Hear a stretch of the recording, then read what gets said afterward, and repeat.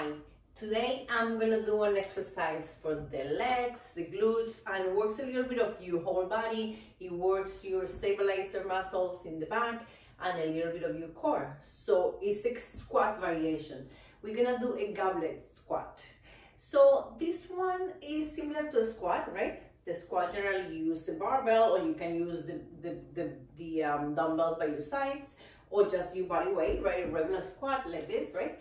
But with this one, we're gonna hold a weight in front of you right here at chest level, and then we're gonna do the movement, right? So this one is a little bit more, it would be better too for a beginner to start with this kind of squat because when you hold the weight in front of you, it's gonna um, remind you to keep your back straight, right? Since you're holding the weight, and also it's gonna allow you to push your hips more towards the back uh, so you avoid bringing your hip forward when you're doing the squat, right?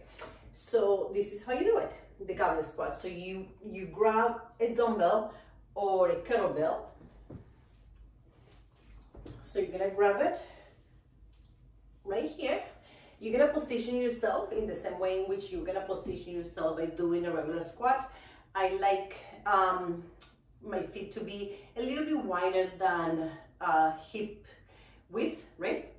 And my back straight, shoulders back, my toes are a little bit out, and then I perform the movement.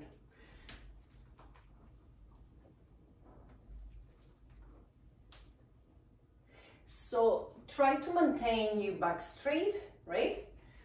And try to maintain uh, your core tight and you don't move forward, right? You keep your hips back as you uh, go down. So I'll show you.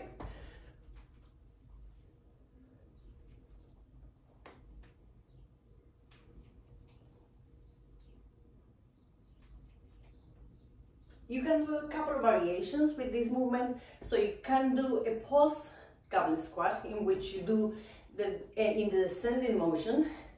You pause at the bottom and then you come up.